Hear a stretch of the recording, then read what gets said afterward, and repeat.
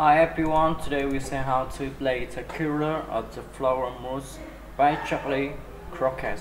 First, don't see cable. The chords of this song are C, G, AM, EM, and DM.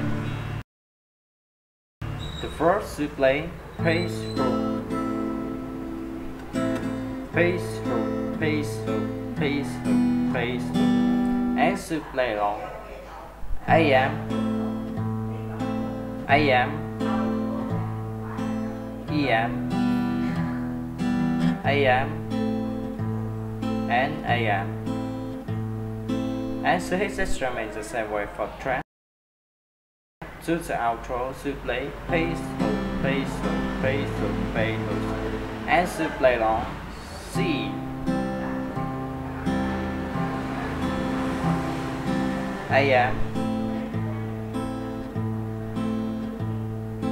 G E M N C A M D M N A M and system is the same way for track. Thank you for watching and see you again. Bye bye.